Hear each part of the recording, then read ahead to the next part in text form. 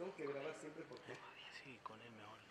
como Para tener eh, voy soltando hipótesis y a veces es, digo cosas que eh, no había pensado decirlas Cualquier cosa me y a veces hablando se aclaran de mejor modo aquello que uno estaba pensando. ¿no? Esto tiene que ver con el auditorio. Para mí ustedes son un auditorio privilegiado. Dicen los neurobiólogos.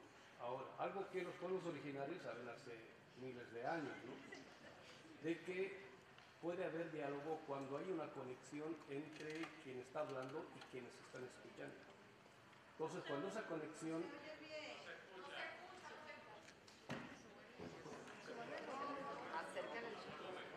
Ponga el micrófono de lado. ahora, De lado, el micrófono. De lado. ahora,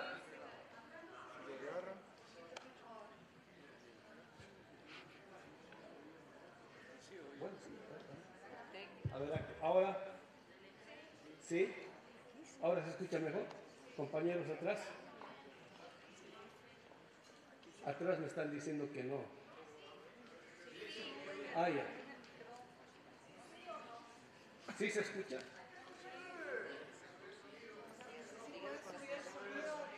Sino que bajen, mira que hay bastante puesto desocupado. Porque ayer se escuchaba bien Bajen un poco. y estaba lejos. A ver si nos pueden ayudar un poquito los de el audio atrás.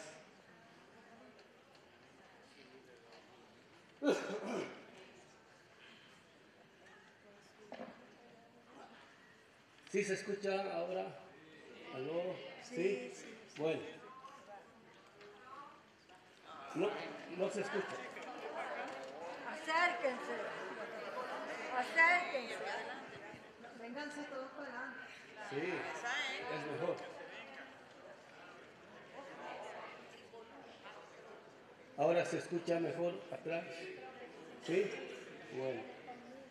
Sí, porque aquí adelante hay bastante campo. Hay bastantes asientos. Bueno, estaba comentando de que eh, más allá de lo que dice Habermas y Apple a propósito del diálogo, ¿no? para que haya diálogo tiene que haber de parte de este, los interlocutores un reconocimiento explícito de la dignidad de los participantes en el diálogo. Si no hay de cualquiera de las partes, entonces, por más que haya todo tipo de palabras y discursos, no hay diálogo. Bueno, eso es lo formal, ¿no? El contenido es esto que estaba comentando, ¿no? Cuando hay una recepción honesta, abierta de quienes están escuchando, entonces se da una conexión, se da un clic entre, este, en este caso, mi persona o el hablante y los participantes, de tal modo de que el, el- hablante, en este caso, este, este servidor, puede desarrollar de mejor modo los argumentos. De lo contrario, este, no se puede, no se da. Entonces, depende mucho de la comunidad de comunicación, en este caso eh, comunitaria, ¿no? para que cierto tipo de temas puedan aflorar. Hay cosas que yo en muchos lugares no las digo ni las voy a decir. ¿no? Entonces, aquí ustedes siempre me jalan la, lengua. Entonces, por eso eh, yo creo que van a salir temas, bueno, es un poco lo que he preparado, pero este, como dicen los mexicanos, ahí les va la neta. Entonces, voy a continuar con lo que había empezado el día de ayer, que es esta idea de de dónde toma Hegel la dialéctica y Marx de dónde toma la dialéctica, porque son dialécticas distintas. Y este servidor no se va a quedar en la dialéctica de Marx. Porque, como siempre digo, por un lado no soy judío, por otro lado no soy alemán y por otro lado no soy europeo y no estoy viviendo en el siglo XIX. Estoy en el sur. En los pueblos del sur. El sur no es ah, un espacio geográfico, es existencial. Dicen los grandes sabios, de todas las latitudes, ojo, dicen, del sur proviene la sabiduría y del norte proviene la fuerza. Cuando la fuerza se separa de la sabiduría, es fuerza bruta. Eso es la modernidad occidental. ¿No? No, es sabiduría. Tenemos cualquier cantidad de argumentos para demostrar que la filosofía moderna es logos, no es sofía. ¿Viste? Porque no sirve para la vida. Así de simple. ¿no? En cambio, ahora la sabiduría, que es para la vida, ¿no? Ah, no solamente está resurgiendo desde el sur, por eso el sur es existencial, por eso no es geográfico, es un lugar existencial desde el cual es posible producir sabiduría para todos. Entonces, eso hay que saber no solamente situarlo existencialmente en el plano de lo discursivo, sino que hay que saber otorgarle o darle su grado de dignidad para lo que está contenido ahí pueda surgir y desarrollarse. En ese sentido, lo que yo ya estoy empezando a deducir es que la dialéctica nuestra ser inclusiva es distinta de la de Marx. ¿no? Y esto no porque es que yo no soy marxista, que no, no tiene que ver con eso, sino que tiene que ver no solamente cuando uno intenta pensar desde el locus y locucionario, desde donde nosotros estamos pensando, que en este caso son los pueblos originarios y procesos como el venezolano, sino que cuando nos ponemos de cara a los problemas más duros que ha enfrentado la humanidad en todo tiempo, en el sentido de que se puede acabar la vida, la vida completa en el planeta. Ese es un problema duro. Entonces, la forma de la tematización tiene que este, cambiar y radicalizarse. Entonces, continúo donde me había quedado había dicho de que este, Hegel, al final, en la filosofía del derecho, recién muestra las cartas que estaban escondidas debajo de la mano.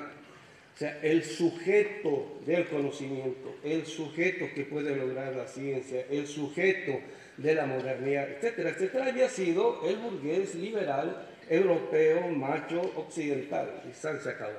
Ese había sido, ¿no? No había sido el ser humano y de ahí deduce una idea de humanidad.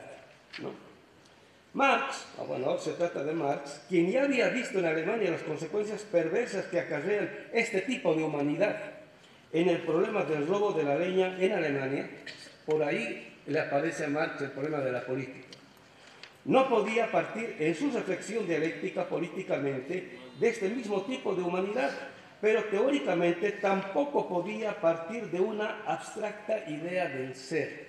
Entonces, quien no conoce la naturaleza del pensamiento dialéctico, ingenuamente parte del ser. ¿No? O sea, aquí parte del ser quiere decir de la realidad tal y cual ella nos aparece entre nosotros. Y nos aparece entre nosotros quiere decir los entes a los cuales nos enfrentamos. Y en la realidad llamada modernidad, cuyo eje y centro es el capitalismo, nos aparece a través de las mercancías. Entonces, quien sigue siendo moderno parte del el aparecer de los entes que nos plantea en este caso el mercado y la modernidad. Marx no, lo primero que tiene que plantearse es el tipo de subjetividad que, que va a encargar este tipo de relación, ya sea para afirmar esto como bueno o para someterlo a crítica. ¿No?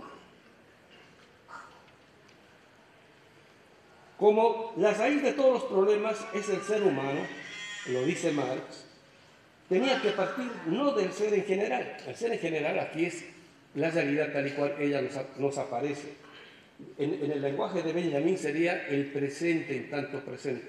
Entonces, tener una idea clara de lo que significa el presente aquí es fundamental, es un diagnóstico de la realidad. Por eso siempre existe la geopolítica.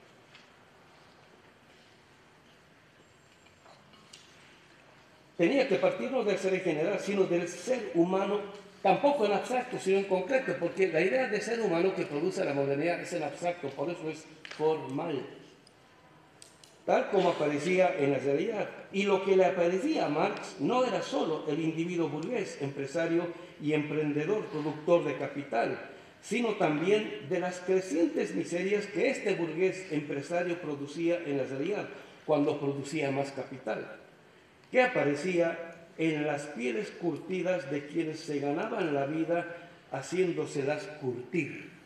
¿no? Esta es la metáfora que utiliza Marx. Ya no la utiliza en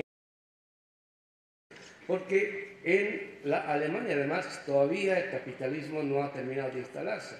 No, no hay todavía burguesía, no hay todavía estas relaciones burguesas fuertes. Porque cuando va a Francia, ahí es donde recién se enfrenta a, a, relaciones capitalistas y gracias a su amigo Engels empieza a leer toda la literatura que ha intentado explicar en términos de economía política todo ese tipo de realidad.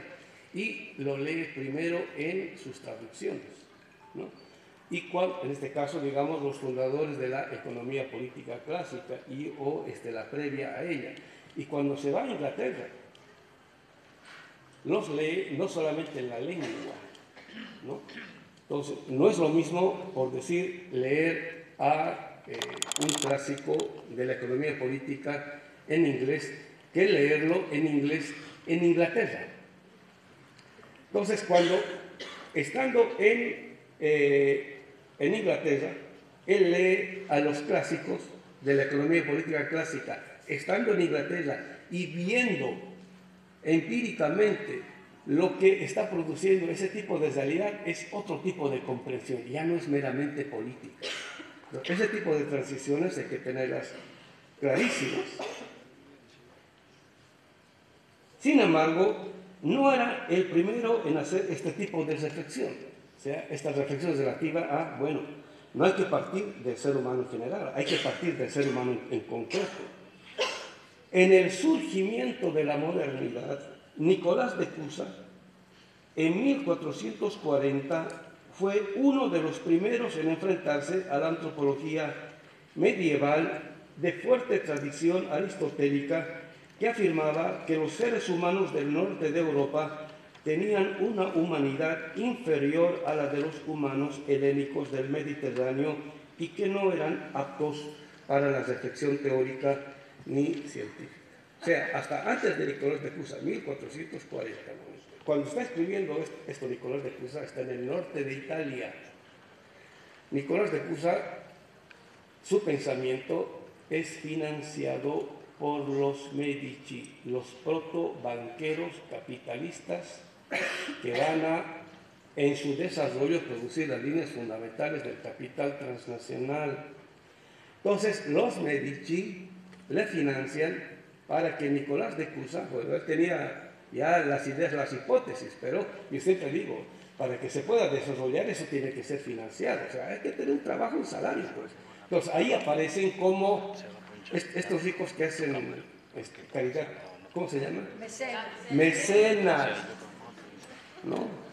Los mecenas son aquellos que financian un tipo de conocimiento que les permita a ellos desarrollarse. Y los Medici estaban luchando fuerte con Roma. Entonces necesitaban argumentación ¿no? que les permitiera a ellos no solamente comprender que lo que ellos estaban haciendo era bueno, sino que en ese tipo de conocimiento eh, lo que ellos querían hacer. ¿no? Es una, una competencia horrible, así prácticamente a muerte. Hay que, hay que ver eso. Y no solamente financiar mecenazmente, hablando por decir a los Medici. Hay este, muchos pintores, literatos, y hay que ver todo eso, qué está detrás de eso. Y ahí surge un tipo de humanidad también. La humanidad renacentista no es ingenua. Hay que rastrear todo ese tipo de conexiones. Bueno, hasta antes de Nicolás de Cusa, los europeos eran fervientes lectores de Aristóteles cuya obra la leían como si fuese la Biblia, hasta los católicos, hasta los teólogos, especialmente los ingleses, ¿no? Y decía explícitamente Aristóteles de que el ser humano era el habitante que vive en la polis, en la polis griega, ¿no?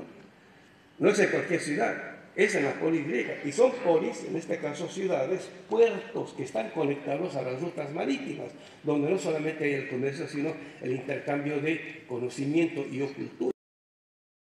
Aristóteles define, eh, el humano es el habitante de la polis, no dice griega, ¿no? pero es el, es el habitante de, de la polis griega. Y quien no es habitante de la polis griega es un bárbaro, o sea, inferior y no por cultura, sino por naturaleza. Porque se puede ir, digamos, un bárbaro de la periferia podría ir a, este, a Grecia y formarse filosóficamente hablando, por decir. ¿no? Dice, no, dice, lo son por naturaleza. ¿no? Y los de Europa, uy, que esos, están peores. Están peores. Porque los africanos, en este caso los egipcios, todavía han producido un saber, un conocimiento, etc. Pero los, del norte, olvídense, esos son los estresados mentales. Estoy exagerando la, nota, ¿no? Y los europeos se creían eso. O sea, por eso tener una idea de lo que es el ser humano es fundamental. ¿no? Entonces, Nicolás de Cusa se da cuenta que hay que cambiar eso. Él es el primero en decir, siglos antes de Kant, ¿no? En decir de que el ser humano apto para el conocimiento y para el desarrollo y para la ciencia y la técnica es el europeo del norte.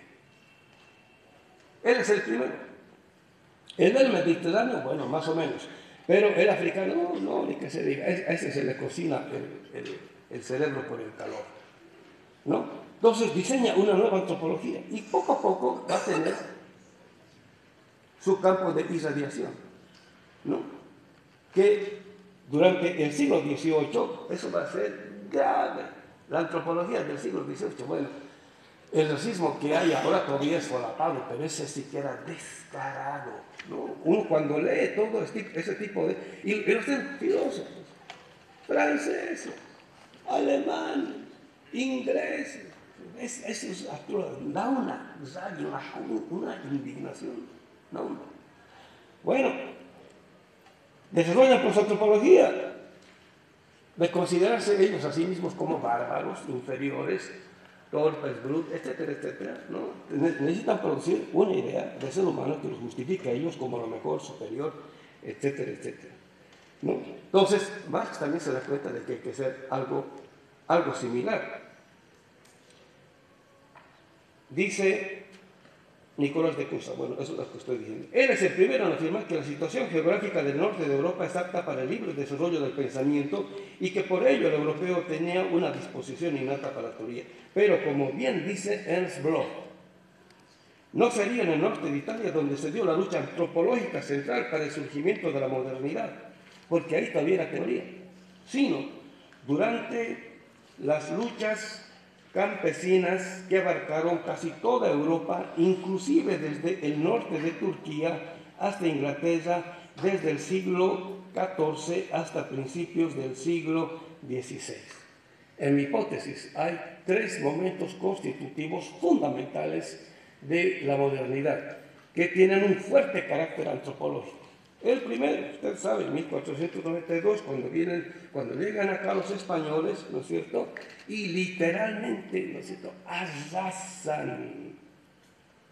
Es un etnocidio, culturicidio, etcétera, etcétera, con las poblaciones nuestras, ¿no? En un siglo más o menos, o sea, descendemos un poquito más de la mitad en cantidad de población.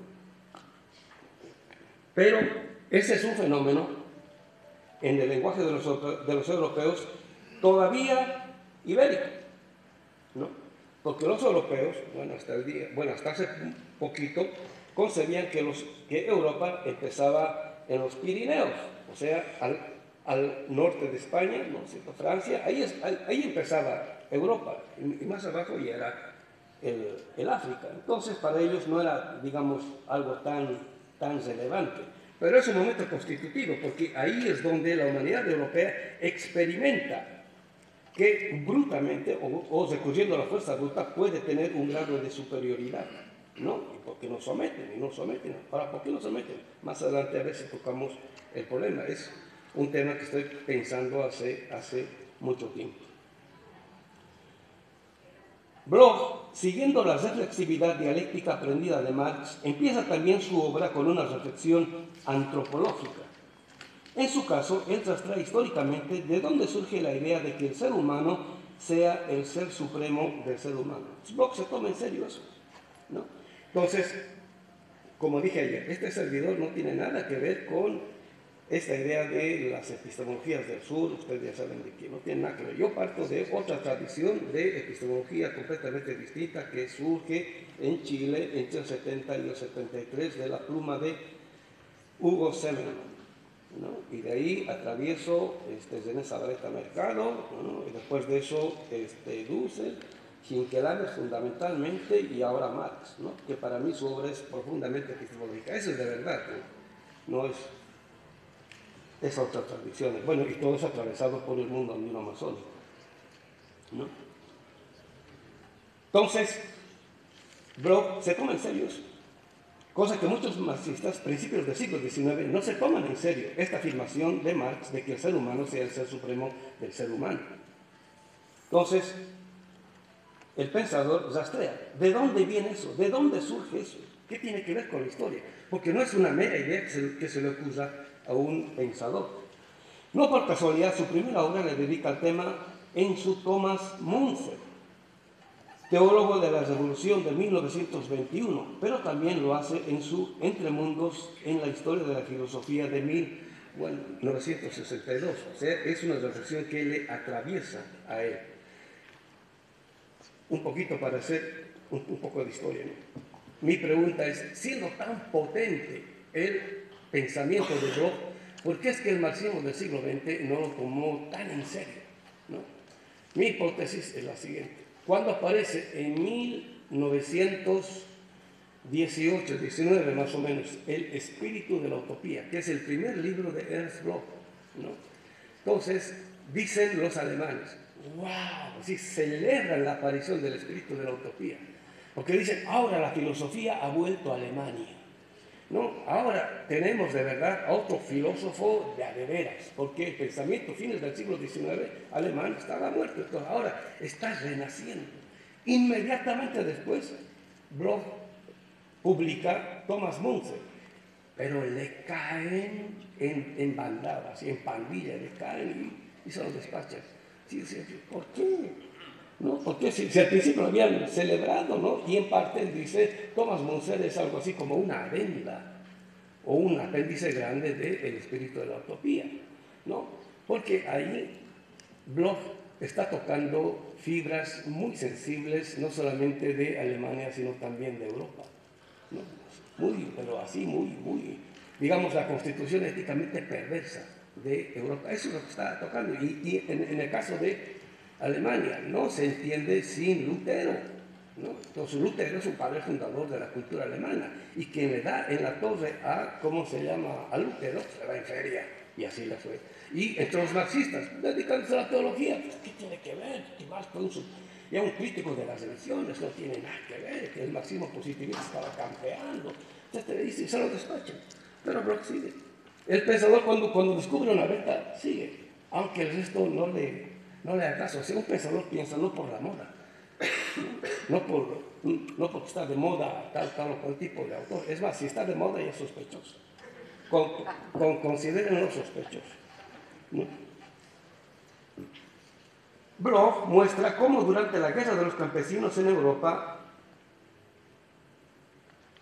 demuestra que por lo que en última instancia se lucha es por la idea del ser humano en la cual en última instancia se funda la posibilidad y legitimidad de un proyecto de vida con fuertes consecuencias políticas y económicas.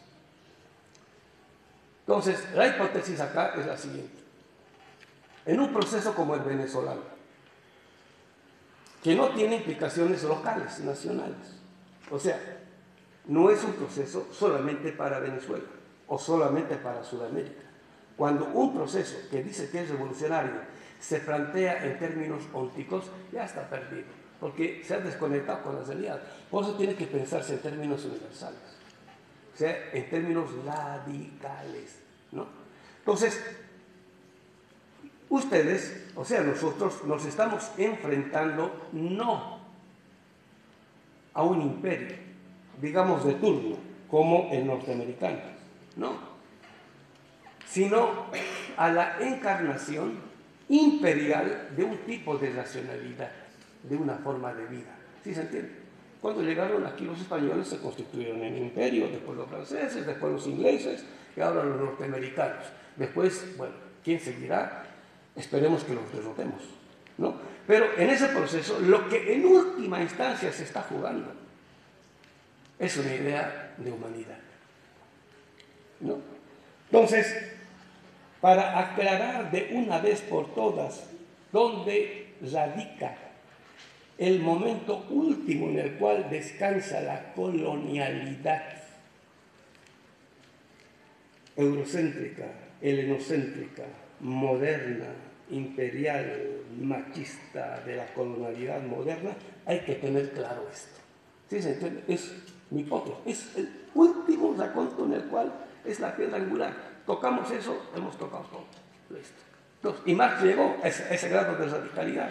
Y los más grandes pensadores pensaron en ese grado de radicalidad. Entonces, como este servidor es alumno de estos grandes pensadores radicales, entonces también estoy tocando el tema.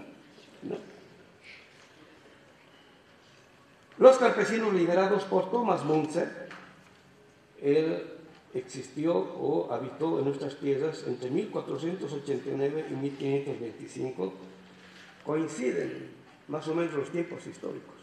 Entonces, mientras los españoles están haciendo las barbaridades que están haciendo acá, los europeos centro-occidentales están haciendo también sus propias barbaridades. Los campesinos liderados por Thomas Munzer luchan por defender una forma de vida ligada íntimamente al campo. Esto es fundamental. La modernidad es fundamentalmente citadina. Acuérdense de Caín, el fundador de la ciudad. La modernidad es la encarnación de Caín, fundador de las ciudades modernas. ¿Qué tal?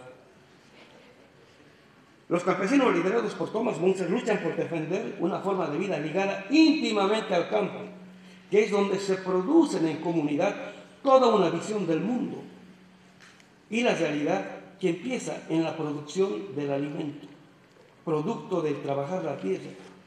Y ella, esta forma de, producción, es hasta antes de la, la agroindustria, hasta antes de la producción agrícola de modo industrial. Todos quienes producen el alimento, o sea, quienes trabajan la tierra con sus manos, todos, sin excepción, producen una relación mística con la realidad, porque están conectados inmediatamente al misterio que es la producción y reproducción de lo que es la vida. Entonces, cuando uno habla del campo, eso es lo primero que tiene que tener presente yo en mente. Ellos afirman que tanto la tierra como el ser humano, al haber sido creados por Dios, eran también, como hijos suyos, dioses. ¡Qué herejía! ¡Herejía! Entonces, para curarme en sangre, en seco. El problema no es la palabra Dios. El problema es el contenido de la palabra Dios. El contenido, o sea, lo que sea Dios, es un campo político de lucha, de batalla. No está definido del todo. Hagan de cuenta, ahorita es un concepto vacío. Necesitamos dotarle de otro tipo de contenido. Entonces, Dotarle de contenido es también parte de la lucha política. Y esto lo sabía bien Marx, lo sabía bien Bloch, y el día jueves eso lo vamos a ver con Benjamin, como también eso sabía. Y que es aquello que nosotros podemos aprender de esto. Esto es, como productos de la imagen de Dios, los seres humanos tenían a Dios, es decir, al bien, ahí está. ¿Qué es Dios?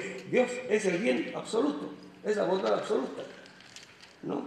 En los tiempos del el fundador del cristianismo, los romanos tenían una idea de Dios. Ustedes saben, el César era Dios, el, divino César. Y el contenido de esa palabra es el déspota, el que puede hacer lo que le da la gana. ¿no? Por encima de él no hay nadie, a su lado no hay nadie, todos están abajo. Esa es una idea de Dios de la cual la modernidad también se ha apropiado. Muchos cristianos piensan que Dios en el fondo es un déspota. ¿no? Entonces, eh, El problema es, bueno, ¿cómo es que se lee el, el libro ese? ¿no? En este caso la Biblia y, o la Torah. ¿Y qué imagen de Dios se deduce de eso? Entonces, para los campesinos liderados por Thomas Munzer, Dios era el, bien, la bondad, la misericordia, digamos plena, absoluta. Entonces, ellos como hijos de este tipo de Dios, también eran seres que tenían al bien, a la bondad, al servicio, a la comunidad, a la justicia dentro, no fuera. Una de las grandes obras macabras de la modernidad es vaciar de contenido la subjetividad del ser humano. Vaciar de contenido la subjetividad del ser humano quiere decir lo siguiente. Todo lo que él es, todo lo que encarna como principios, valores, eh, morales, etcétera, etcétera, todo lo saca afuera y lo pone delante como si fuese un objeto. ¿No? Vamos a que Dios exista, sí, pero está fuera, o en este caso, fuera de este planeta. Y así sucesivamente. O, o como dice Bloch, ¿no? la utopía o la esperanza ¿no? no es un objeto que está, el futuro no es un objeto que está allá afuera, o el pasado no es un objeto que está allá afuera. ¿no? En este caso la utopía no es algo que está afuera, es algo que está dentro. Entonces, cuando se saca del ser humano, es un vaciamiento de contenido, se saca del ser humano lo que está dentro, el ser humano se vacía de contenido. Pero la humanidad consiste en vaciarse, en vaciarse de contenido.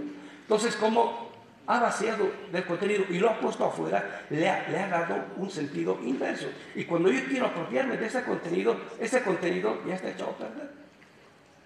¿No? O sea, cuenta, es un alimento procesado por Monsanto. Es trigo, trigo, pero eso es trigo Monsanto. Me lo como, o sea, me va a dar cáncer. Así como, perdón o un McDonald's. ¿no? O sea, la hamburguesa en sí misma no es mala, ¿no es cierto? Una buena hamburguesa es una, es una delicia.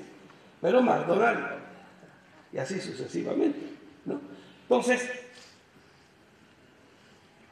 esto que estoy diciendo, eh, estoy diciendo por primera vez, o sea, la modernidad vacía de contenido. Entonces, cuando abrimos la subjetividad, lo único que aparece son órganos. ¿no? El corazón, así, como si fuesen cosas, como, ¿no?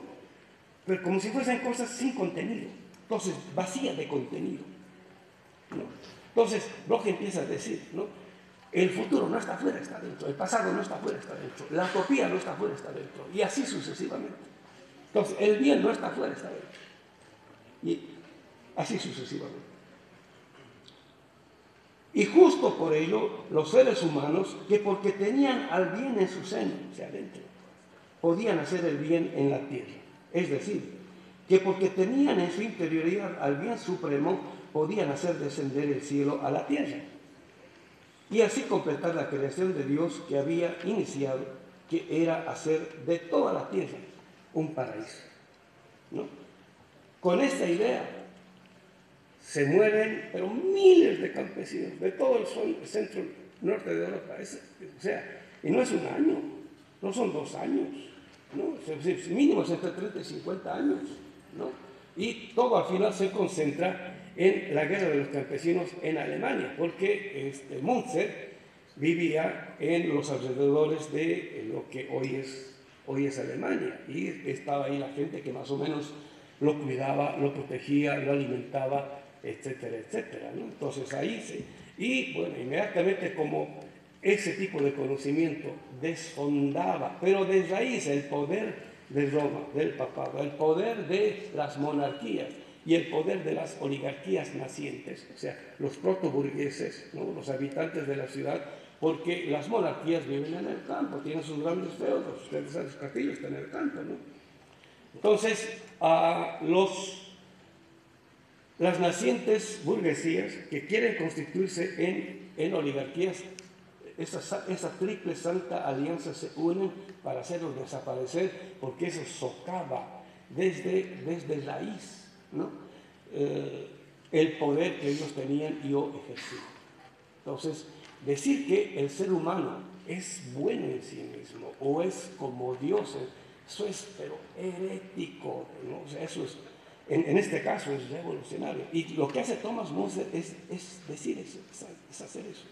Y para eso parte de la Biblia, en este caso parte del Evangelio de, este, está mal dicho decir que en cristiano es Jesucristo. ¿no? Pero eso ya es en la traducción. Y ahí empiezan los problemas. Entonces hay que ir a la raíz. Este es bien a la raíz. En hebreo es Yehoshua ben Yosef. No el HaMashiach. O sea, el Mesías. ¿no? Entonces, dice Hinkelamer otra herejía. O sea, los grandes críticos son bastante herejes. ¿no? Dice, ni Yehoshua ben Yosef ni ninguno de sus discípulos fueron cristianos. ¡Wow! Y por eso un poco más lo cocinan vivo a Zunquelame, ¿no? Cuando uno lee desde la cultura semita todito el Nuevo Testamento, uno se da cuenta que todos, desde el, desde el primer evangelio, desde el, en hebreo se llama Toldot y Yehoshua, y lo escribió Matillahu. Toldot quiere decir las, las generaciones de, de Jesús, ¿no? Yehoshua, Toldot Yehoshua. Ahora están descubriendo los originales, pues. Entonces, desde ahí hasta el Apocalipsis, toditos han vivido conforme a la tradición judía. Ninguno ha vivido conforme a la tradición cristiana. Así de simple. Y está clarísimo eso. Y eso que es un libro compilado por Constantino, donde este, los, unió en el, en el concilio de Nicea, ¿no? así para que discutan entre los grandes teólogos de distintas tendencias, de distintos lugares, para que saquen un, un, una versión así oficial, por decir. Y él se dio cuenta al cabo de algunos años de que no, iban a seguir una discusión, pero eterna, por decir. Dice, no, no, eso son, tonteras. Entonces, con sus asesores, agarran unos, unos cuantos evangelios, unas cuantas cartas, epístolas, todo eso, y dice, este va a ser el evangelio. Listo. O sea, un pagano define el contenido del Nuevo Testamento. Es pagano, pues, está Constantino. ¿no? Y se lo toman como si fuese la palabra de Dios. Encima de eso lo interpretan en, en clave helénica, y ni, ni, siquiera en clave semita o, o, judía, digamos, en este caso. Entonces, cuando uno lee desde el humanismo semita, de la humanidad semita, es, aparece otro, otro tipo de texto. Entonces, el cristianismo, como conocemos, ¡pum! se cae abajo con el texto ese sin leer siquiera el Antiguo Testamento. Y los grandes predicadores a la Munce, para poder hacer inteligible el Nuevo Testamento, utilizaban el Antiguo Testamento. Porque ahí está toda la explicación. Ahí está toda la explicación. Sigo.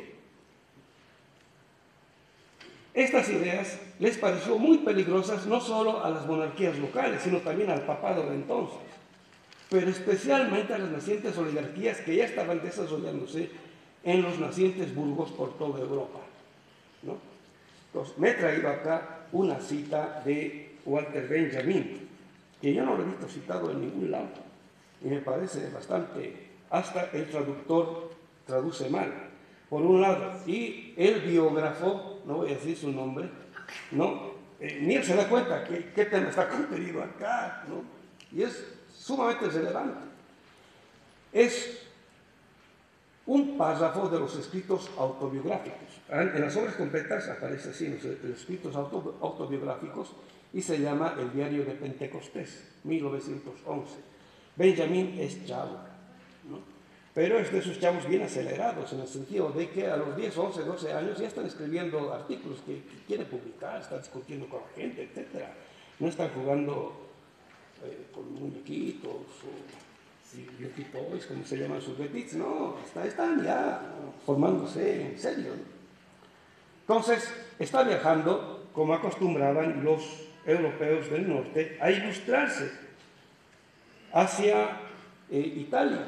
Está viajando por ahí. Entonces, él va escribiendo de todo aquello que le aparece como algo interesante en su recorrido.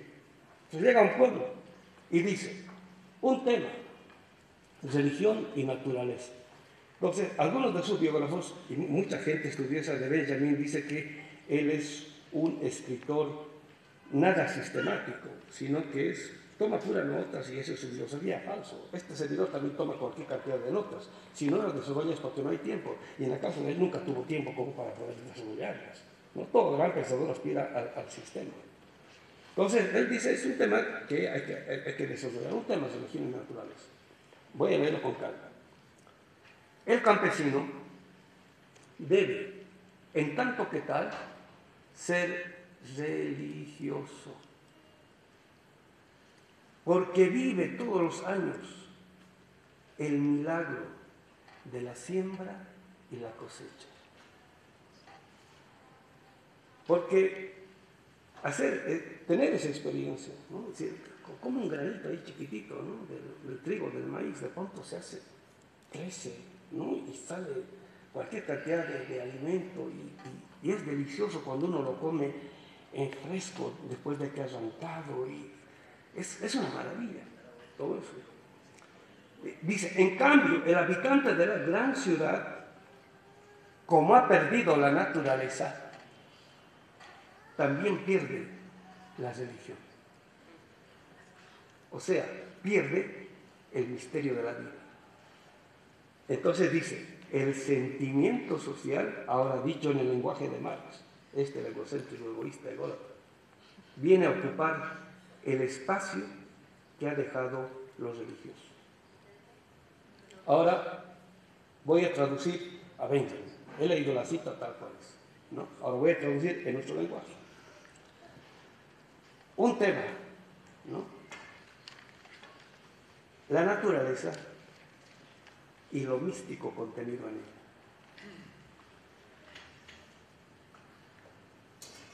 El campesino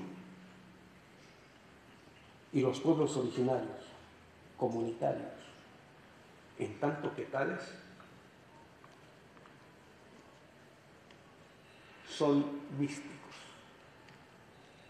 porque viven todos los años el misterio contenido en el milagro que se produce cuando se siembra y se cosecha.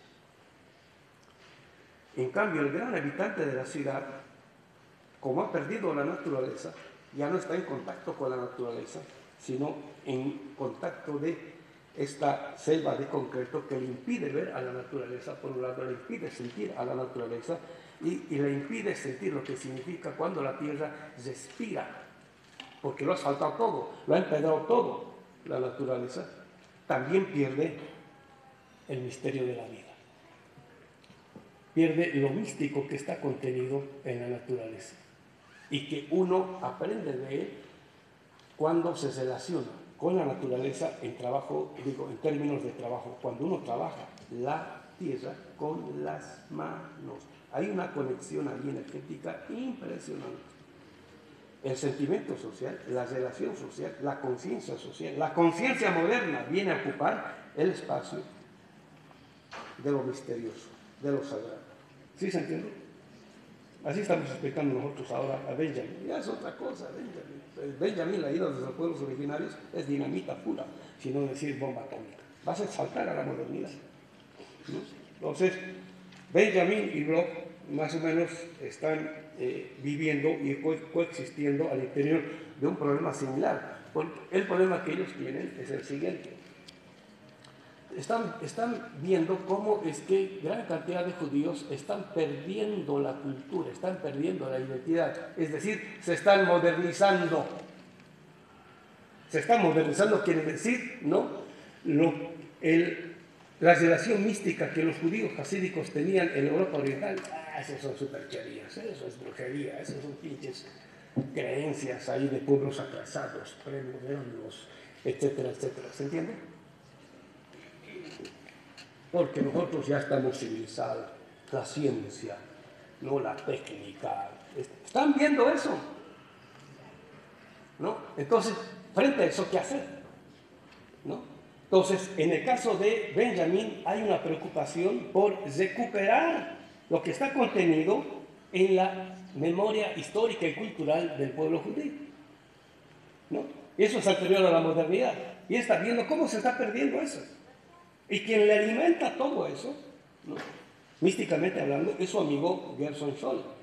Quieren, yo, yo siempre digo, quieren entender a Benjamin, léanse a Gerson Scholl.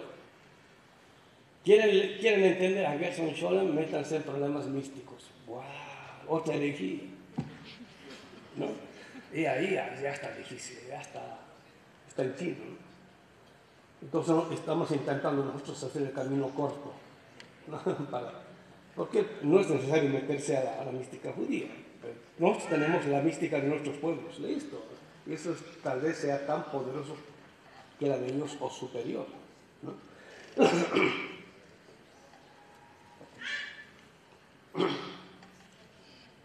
Estas ideas les pareció muy, muy peligrosas a las monarquías, etc. Primero, porque Biblia en mano, los campesinos les demostraban a los príncipes locales las injusticias que estaban cometiendo contra ellos. Se les decía, ¿no? Ustedes dicen de que ustedes son ricos o nobles porque Dios lo quiso así, y nosotros somos pobres porque Dios lo quiso así. Miren lo que dice el Evangelio. Uy, ahí, ¿no? Y encima de eso les daban una, pequeña prédica, los desarmaban completamente, no sabían qué hacer, porque no conocían. Así como muchos marxistas no conocían la Biblia. Digo, este, no conocían el capital, no conocían a Marx. Sí, les demostraban lo que estamos haciendo nosotros. Con textos de Marx vamos a mostrar por qué él sigue haciendo una crítica de las religiones hasta el final de su vida. Sigue haciendo teología, teología crítica. ¿No? No se limita a leer el capital. Ahorita voy a hacer los esquemitos. O sea, quien, quien, quien dice, leer la capital, que leer el capital, todo eso, ese jamás entendió la dialéctica.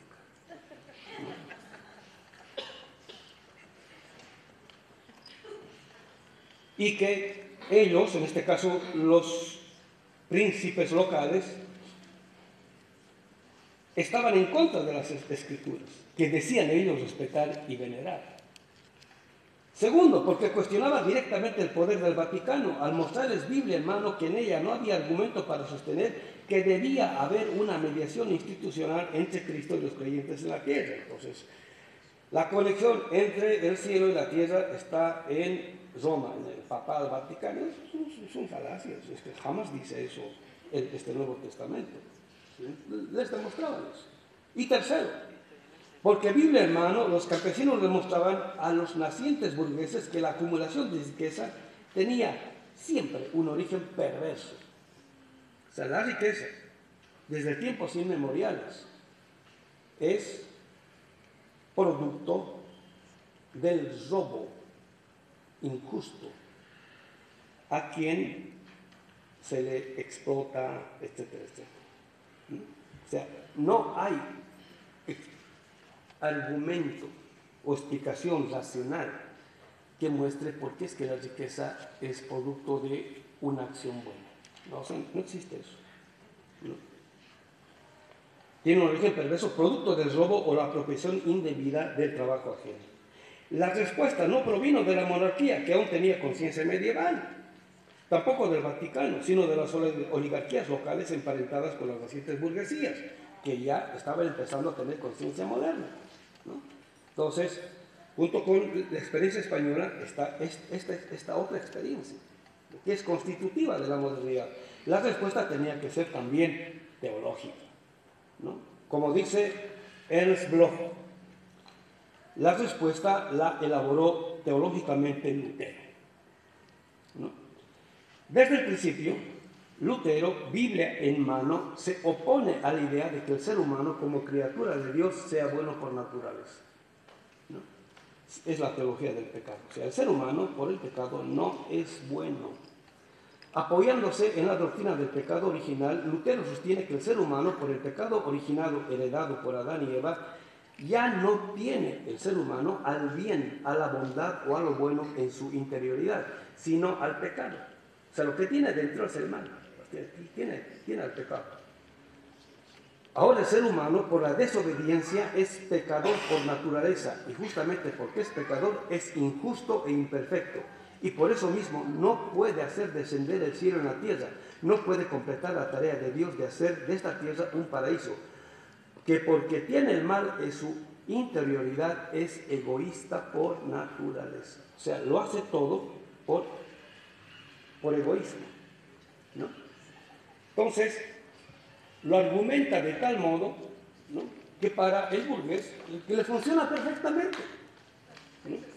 Y ojo, junto con esta idea, viene la idea de que, que porque todo ser humano es egoísta. Junto con esta idea viene, todos somos iguales. Si todos somos iguales, yo soy igualito que Donald Trump. O sea, egoísta. ¿Será que somos iguales? Yo, no soy igual a Donald Trump, yo no soy igual a Pinochet, yo no soy igual a Hitler, yo no soy igual. No puedo ser igual. Si se entiende el discurso encubridor de la igualdad. Si todos somos iguales, y aquí, ¿no es cierto?, el padre fundador, no solamente de la cultura alemana, sino del protestantismo funcional al capitalismo, está diciendo que todo ser humano es igual. Todo ser humano es igual, está diciendo todo ser humano es pecador. La secularización de esto vía puritanismo es la obra de Adam Smith. Adam Smith, puritano, ¿no? es quien seculariza esta idea para decir que el, ser humano es egoísta por naturaleza. ¿Se acuerdan de esta antropología con la, con la cual está? Si el Lutero es el ser humano es pecador por naturaleza. Y de ahí viene también la idea de que es imperfecto, ese tipo de cosas. Entonces, pero en la economía política, ser humano es egoísta por naturaleza. El modelo neoliberal, el ser humano es codicioso por naturaleza. O sea, nunca se conforma con lo que tiene, nunca. Es un barril sin fondo, porque es hasta, el infinito, ¿no? Y para ellos eso es racional, ¿no? Entonces, detrás del modelo neoliberal, detrás del liberalismo clásico, ¿no? Está una antropología. Ya mostrado Hegel, está una antropología. Y en esta gran guerra de los campesinos, ¿no? Está también una antropología, ¿no? Entonces, el problema es combatir esa antropología. Combatir esa antropología no es combatir solamente esa idea, es destruir a quienes son la encarnación de esa idea. ¿Se entiende? Porque las ideas, funcionan las ideas cuando se encarnan las ideas. Si un pueblo encarna tal o cual tipo de ideas, esa idea tiene vida, funciona. Pero si no encarna ese tipo de ideas, no funciona. En el caso de la modernidad, la modernidad ha hecho que los modernos encarnen la idea de que el ser humano es egoísta por naturaleza. Pero el ser humano no es egoísta por naturaleza, sino por un tipo de producción económico, social y cultural. ¿Sí se entiende? Está el materialismo de Marx. Desde ahí está partiendo él. Y en este caso, Bloch. Todo el ser humano lo hace por egoísmo propio, no por el bien de todos, sino solo de sí mismo. Por eso mismo el bien no puede existir dentro de él, sino solo fuera de él. Cuando por un acuerdo o contrato se ponen límites a los intereses egoístas de cada uno. Entonces, a esta antropología lo que se le deduce es un derecho, o sea, una teoría del derecho. O sea, la justicia o el bien no existe dentro del ser humano, existe afuera, porque lo que, lo que existe dentro es el egoísmo. Entonces mi egoísmo se opone a tu egoísmo. Y para que no haya guerra, entonces el bien es producto del el acuerdo entre tu egoísmo y mi egoísmo. ¿Se entiende? Pero el bien no está dentro, el bien está afuera. Y ese es el derecho moderno. Todo el derecho moderno es eso. ¿no? Pero es el desarrollo del punto de vista del, del, dominador. Por eso es que el derecho moderno es lo más perverso que no tiene nada que ver con la justicia. Está al servicio de los intereses no solamente del dominador, sino del capital productivo transnacional, etcétera, etcétera. Es decir, si en Thomas Munzer era posible hacer descender el cielo en la tierra, en Lutero, quien intenta hacer descender el cielo en la tierra, lo único que va a producir es el infierno. Él no lo dice literalmente. Quien dice eso es Karl Popper, la sociedad abierta y sus enemigos. Popper primero eh, produce una fundamentación de lo que es la ciencia. ¿No ve? La, la lógica de la investigación científica y demás cosas, que sé yo. ¿no? Y al final nos muestra políticamente a dónde conduce eso, para qué sirve eso. Eso es, un, eso es una ciencia contra el socialismo, contra Marx, etcétera, etcétera. ¿Se entiende? O sea, ¿cuál neutral? ¿Qué objetivos? Son meras falacias, ¿no? Entonces, antes de la Segunda Guerra, Guerra Mundial, la posición de Popper era una posición entre tantas otras que había. Después de la Segunda Guerra Mundial lo imponen académicamente a toda la comunidad académica. Ahora todo el mundo, aunque no sepa de Popper, piensa en estos términos. Convierte a todo lo que sea en objeto. Entonces, como no se puede hacer descender el cielo a la, a la tierra, porque quien quiere hacer eso lo único que hace es producir el infierno, entonces cualquiera que tiene una pretensión ética de justicia, en este caso cualquier pueblo que quiera lo bueno, hacer descender lo bueno para todos, eso es peligroso, hay que combatirlo, hay que destruirlo. ¿Sí se entiende? Ese es, ese es el hereje desde este tipo de lógica. No, esos son, esos son heréticos. Quieren hacer lo bueno, pero no, no, se puede. Eso solamente existe en el reino de los cielos. No se puede. Entonces, esos hay que destruirlos. ¿no? Por ello, es declarada herejía no solo la doctrina de los seguidores de Munzer, sino también son combatidos todos los seguidores o creyentes de las doctrinas místicas de los campesinos que afirmaban como bueno al campo en nombre de Abel y condenaban a los fundadores de las ciudades burguesas como Caín. La modernidad es la encarnación de Caín los fundadores de la ciudad, los amantes de las ciudades, son seguidores de Caín. Compañeros, hay que volver al campo. Se los combate hasta hacerlos desaparecer por la triple alianza de las monarquías del Vaticano y las, oligarquías locales emparentadas con las burguesías nacientes. Derrotado el campo, empieza el desprecio del campesino, de la tierra, del tipo de trabajo o mano de obra campesina y de su doctrina mística y sus creyentes. Constitutivo de la modernidad es la devaluación, la degeneración, la degradación del campo, del campesino, de su forma de vida y de su horizonte de creencias. O sea, cuando la ciudad vence al campo, la ciudad está derrotando también a el horizonte místico. Por eso es que la modernidad es antimística. ¿Se entiende, compañeros? Sí. Chávez era místico. El Che también. ¿No? Y cuando una revolución pierde el carácter místico, ya está derrotada. ¿No? ¿De dónde le viene eso? ¿De la ciudad? No, en la ciudad no habita lo místico. ¿No? Hay que salirse a lo que está negado por la ciudad moderna. Por eso,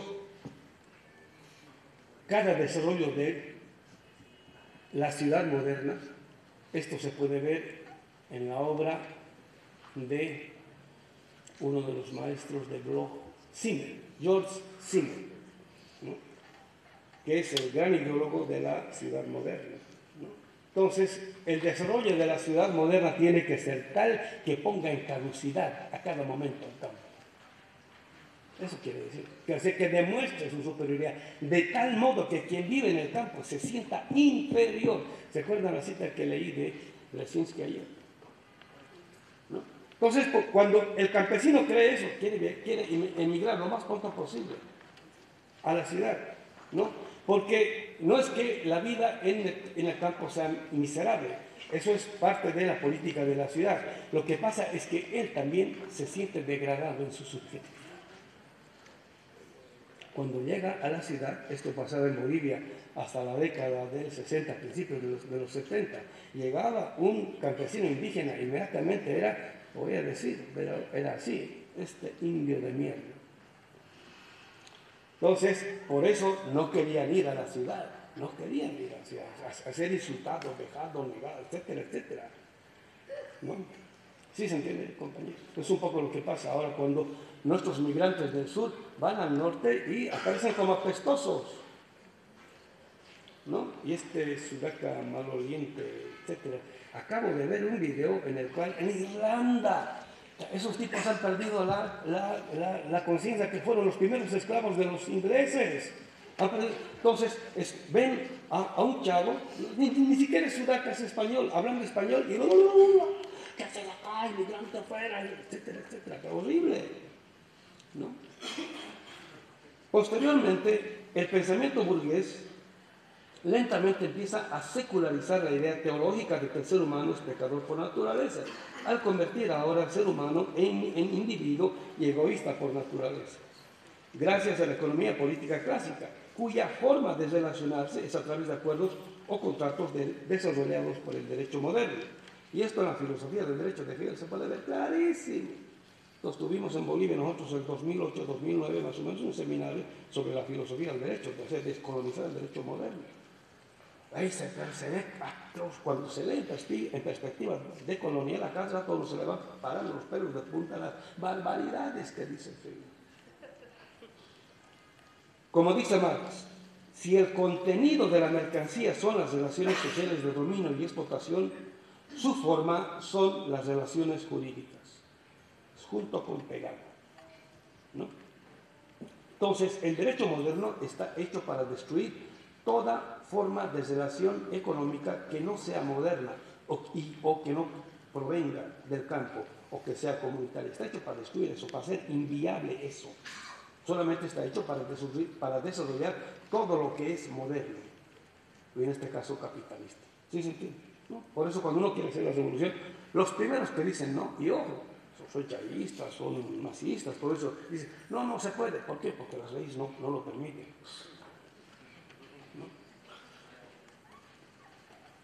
Y esta relación la vio siempre Marx de modo muy claro.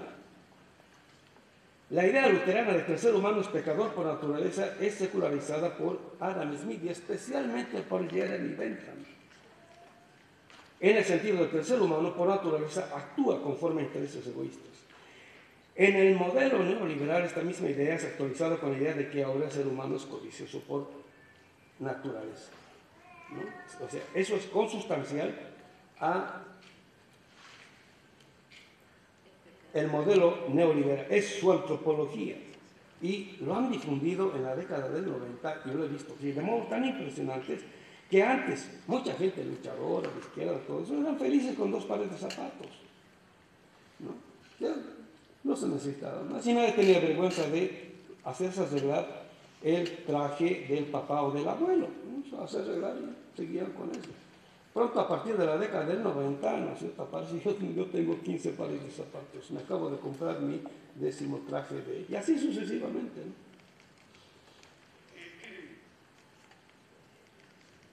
Hasta en Hegel, en la lógica, ¿no?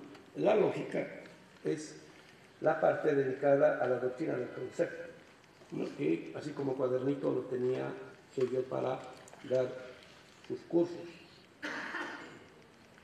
Él dice expresamente que es más racional pensar o creer que el ser humano es malo por naturaleza y no así bueno.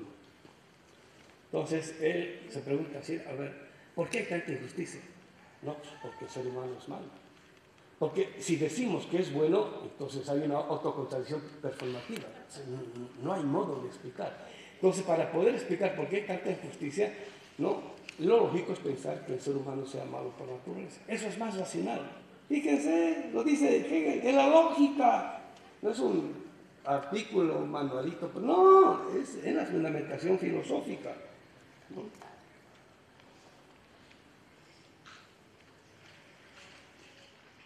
Porque si, se afirmara que el ser humano es bueno, no se puede explicar de dónde surge tanta injusticia en el mundo. Por ello es lógico pensar que solo un ser imperfecto o egoísta puede hacer actos inhumanos, como muchas veces recuerda Hinkelano. Popper quien populariza en su La sociedad abierta y sus enemigos la idea de que quien quiera producir el cielo en la tierra, lo único que va a traer o hacer descender en esta tierra es el infierno. Por ello es que es mucho más racional quedarse con este sistema de dominio que querer transformarlo en uno más justo. ¿No? Eso es mucho más racional.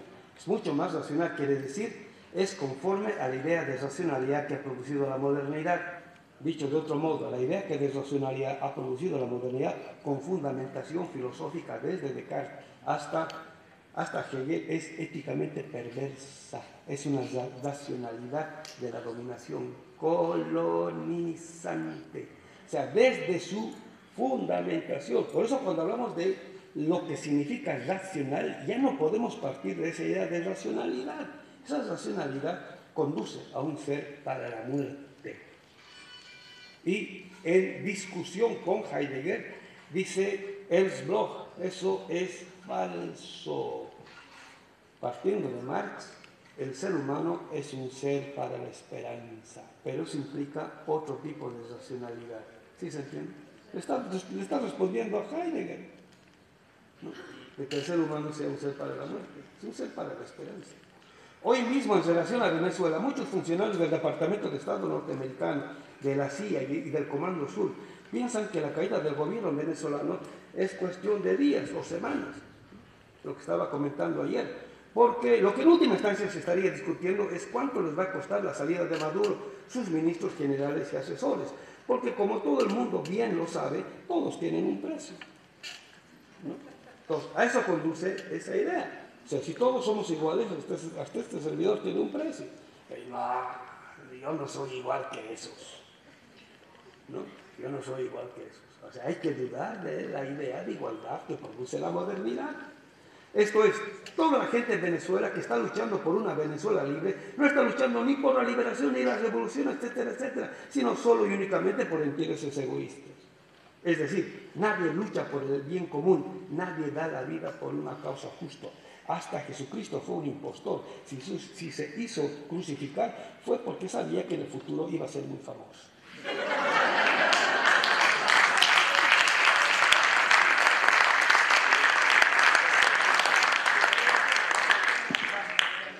Si es así, compañeros, mejor nos olvidemos de la revolución. Hay que olvidarse de la revolución y dedicarnos cada quien a lo que puede. Y si se cae la naturaleza, desaparecen las especies, que la gente es asesinada, violada, todo eso, lástima, Margarito. Ese es el cinismo que está detrás de los habitantes del primer mundo. Ahora se los entiende, ¿no ven? ¿Por qué está detrás de esa antropología? Es el último racón con el cual nosotros podemos entender todo esto. Bueno, ahora es el problema de la fundamentación. ¿No? ¿Cómo, cómo vamos más allá de este diagnóstico? Primero, hay que mostrar por qué es que la dialéctica hegeliana, siendo moderna, es una secularización de un tipo de cristianismo. No todo cristianismo es de dominación, hay también de liberación. En este plano, en el nivel del ser, del horizonte del ser, ¿no? nosotros siempre estamos enfrentados a toda la realidad, pero toda la realidad no nos aparece inmediatamente, sino es a través de entes, cosas útiles. Heidegger le dice zu Handenheit o vor Handenheit, cosas ante las manos o ante los ojos. ¿no? Siempre nos aparece así. Entonces dice, en la dialéctica, el primer nivel de comprensión se ubica en este plano.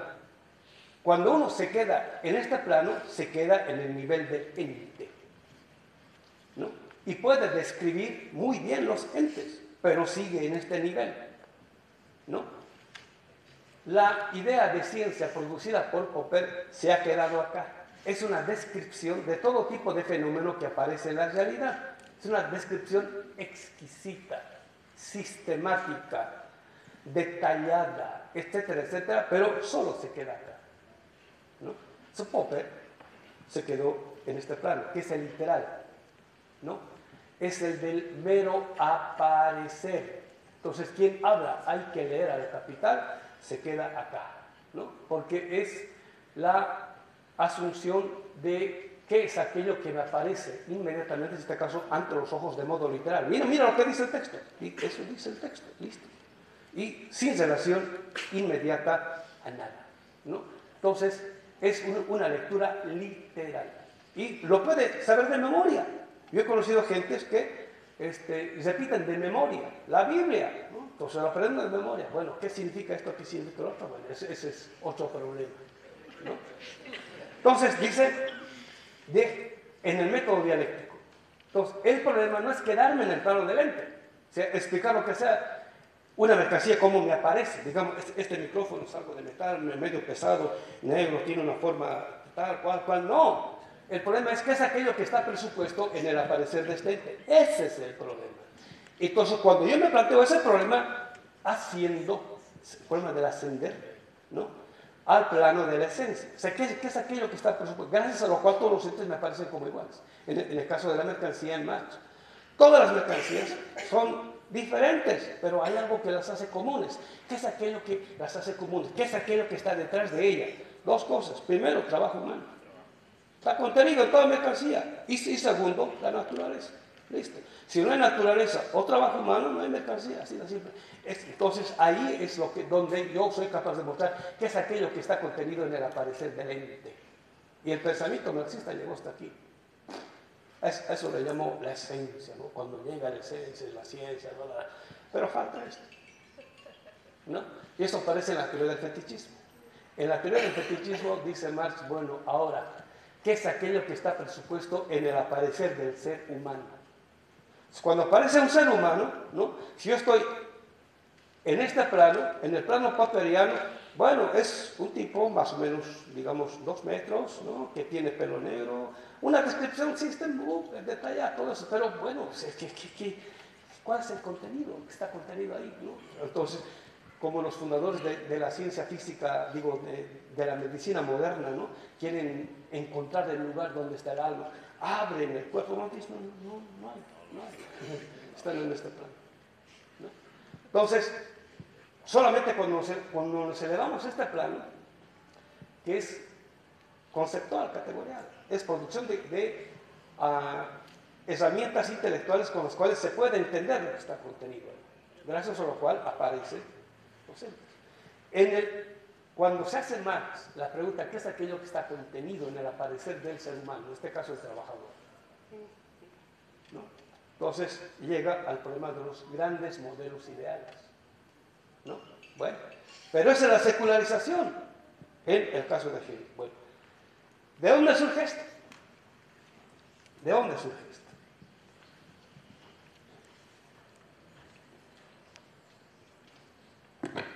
Aquí está. Como muestra la obra de Bloch, la mística cristiana siempre piensa la realidad en niveles de comprensión dividida en tres partes. Entonces, Hegel es la secularización, bueno, no empieza con Hegel, antes han habido otros, digamos como Schelling, por ejemplo. O varios que, intentan hacer eso a partir de un tal Jacob Boehm, ¿no? Y Jacob Boehm, digamos, es el primero de los místicos que aparece como si fuese filósofo, ¿no? Ah, él todavía sigue siendo místico, ¿no? A la racionalización de eso eh, hace aparecer como filosofía, pero todavía él no termina de cuajar, digamos, la idea. En Hegel ya está bien, cuajada la, la, idea. Entonces, el plano, el primer plano, el literal o material, al segundo plano le dicen el psíquico o psicológico, y el último es el neumático, viene de neuma, en griego, que es la traducción de nefesh. Entonces, cuando en la Biblia y estas son reflexiones también que hace este, Benjamin, cuando el ser humano es insuflado, así por el, el hálito de, de Dios, no solamente el ser humano tiene neuma, sino también tiene ruach, ¿no? porque si no, él sería igualito al animal. Porque el, animal tiene vida, o sea, tiene capacidad de respiración, o sea, tiene neuma. ¿no? Pero no solamente tiene el ser humano neuma, sino que también tiene ruach. ¿no? Ruach acá quiere decir, uh, tiene un tipo de conocimiento que proviene de arriba, porque le ha soplado. Pero por el, por el problema del pecado también puede tener ruach, o sea, espíritu de este mundo. Entonces, por la formación, por la, por la, educación, por la cultura, lo que normalmente nosotros tenemos es el ruach o el espíritu de este mundo, el espíritu de los modernos. O sea, no solamente tenemos capacidad de respirar, de vivir, sino que nuestra vida subjetiva está insuflada por la racionalidad moderna. ¿Se entiende? ¿No? Ahora, ¿quién se alimenta de la ruach de la modernidad? según el misticismo judío, es quien come del árbol del bien y del mal. ¿Qué tal? Es otra interpretación bien distinta. Uh, Tengo 10 minutos más, está. ¿Cuánto tiempo tenemos? Cinco veinte. ¿Hasta qué hora aguantan, compañeros?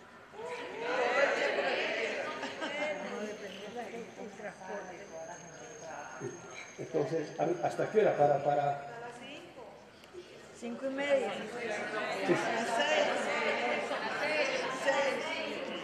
este, que sea hasta seis menos cuarto, porque dice que los de audio también tienen que irse. ¿No? ¿Hasta seis menos cuarto, compañeros? Sí, ya está bien. Porque eh, esto es lo duro, fíjense. O sea, eh, pues, yo vine para decir estas cosas, pero todo lo previo fue de introducción. Ahora, por eso están ent- entendiendo ahora, ¿no? eh? Estas formas de comprensión estuvieron muy relacionadas con los niveles de comprensión o entendimiento de la Biblia.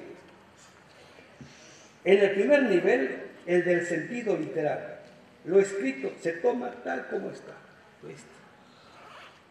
En el segundo nivel, es decir, en el, en el sentido psíquico, estoy hablando de tradición cristiana, se toma alegóricamente lo leído. Sí. ¿Qué quiere decir esto? Esto quiere decir esta otra cosa, y así sucesivamente. En este plano, que es donde se hacen interpretaciones, quien interpreta es el alma. En el tercer nivel de comprensión o lectura es el espíritu el que capta el significado más profundo de la escritura. Por eso se le llama el nivel neumático o espiritual. Entonces, quien tiene conocimiento ¿no? es el que ha llegado al tercer nivel. Quien se queda en el, en- el primer nivel, ese es un hablador. Por eso la ciencia moderna es habladora. ¿no? El Aymara es apático. Este aquí cómo sería hablador. Hablador aquí sería. No, Charlatán, charlatán. Como dicen, como dicen, sí, eso, esta paja. Sí, eso, eso, eso, me parece. Entonces, en Bolivia le dicen los pacos, ¿no? Entonces, cuando se estaba dando el proceso en Bolivia, en duro, y, y muchos intelectuales iban, todo eso, entonces, después de escucharlos, ojo, esos pesados, ¿no? Entonces decían, los, los, los líderes de los sindicatos decían, ay, otro más que viene a decirnos lo que ya sabemos, pero de modo ordenadito. Esa es la ciencia moderna, compañeros.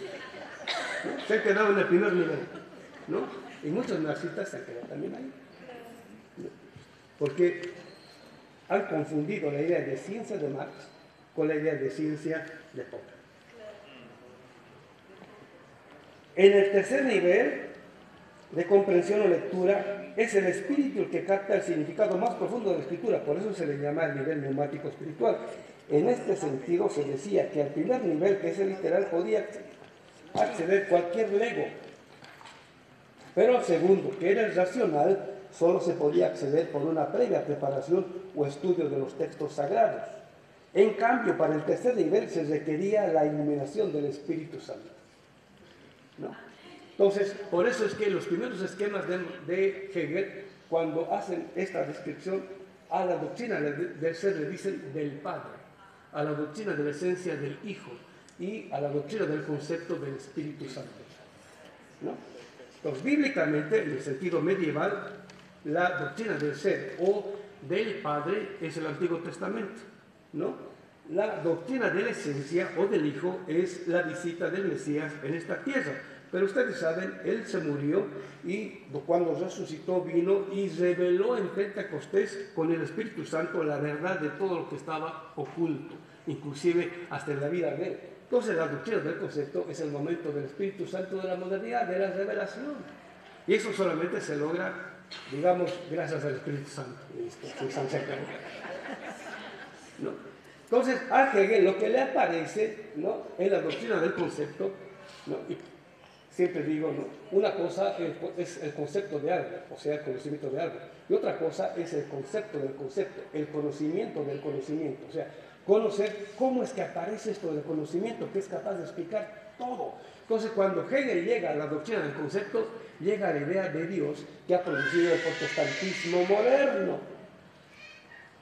¿no? Y ahí se les revela todo. Y por eso dice en la fenomenología del espíritu de que el, el pentecostés de la humanidad es la modernidad y será durante la Revolución Francesa. Él lo dice literalmente, ahí es donde se nos reveló el sentido de toda la historia, por qué había pasado toda esa historia para llegar a este momento en el cual se nos revela todo el sentido. Ahí está la filosofía de la historia. ¿no? Por eso la filosofía de la historia, lo dice Carl Witt, es una secularización de la visión teológica del cristianismo. Por eso durante muchas décadas se identificaba al primer nivel con el simple temor de las escrituras, ligado a la relación del temor con Dios, con el Padre en el Antiguo Testamento. En cambio, al segundo nivel se arribaba por el conocimiento del Nuevo Testamento, en el cual se pasaba del temor al amor del Hijo de Dios. Pero solo en el tercer, en el tercer nivel se tenía acceso a la revelación de los misterios escondidos en la Escritura y que solo eran revelados por el Espíritu Santo. Entonces, por eso, usted, cualquiera de ustedes que va a una iglesia evangélica, ¿no?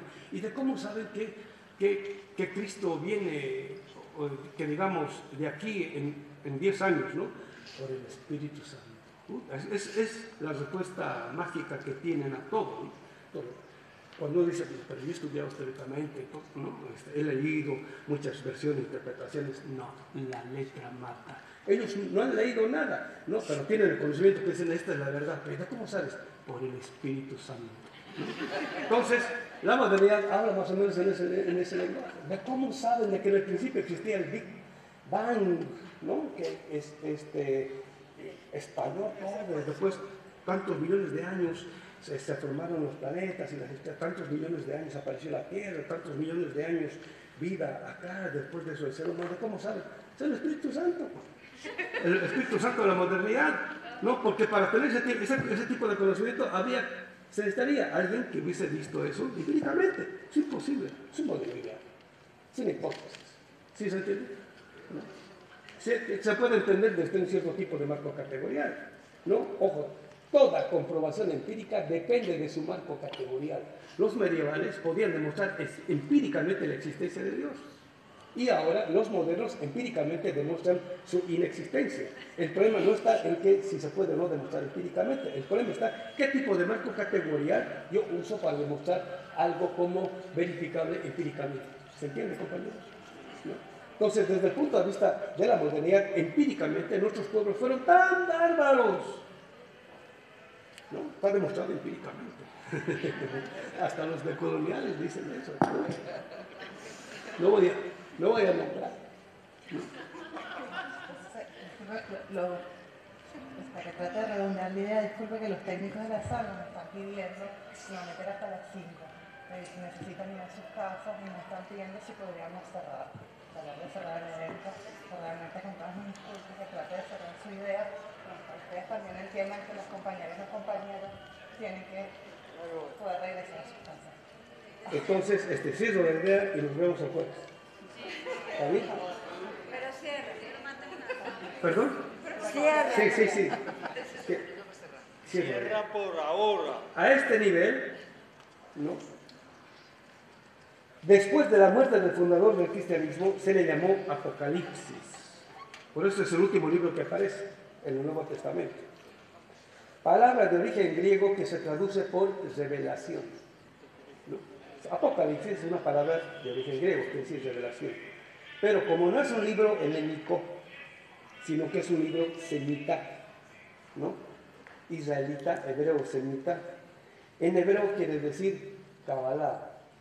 ¡Wow! Kabbalah. Eso quiere decir, o sea, misticismo. ¿No? ¿Qué quiere decir esto? Fíjense, yo agarré el espíritu de la utopía de Ernst Bloch.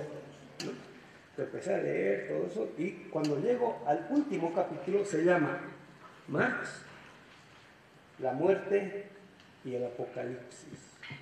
Así se llama el, el- último capítulo. Dije, "Hostia, ¿esto qué tiene que ver más con, con- la muerte y el apocalipsis? Todo eso. Bueno, la idea es la siguiente.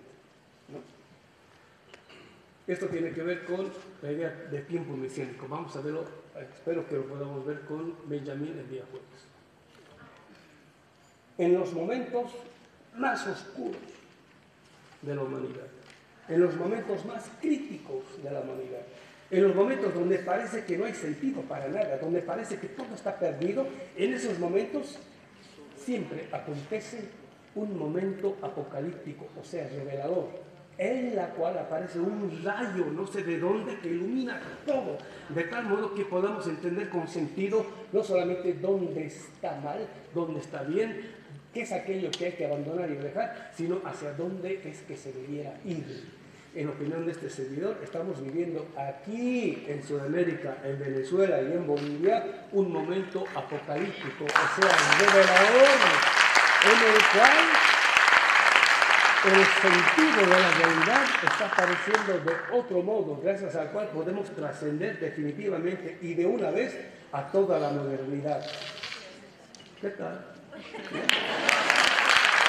Nos vemos el jueves.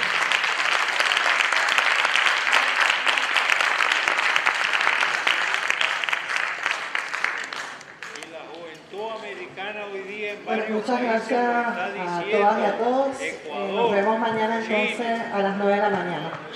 Eh, hasta mañana.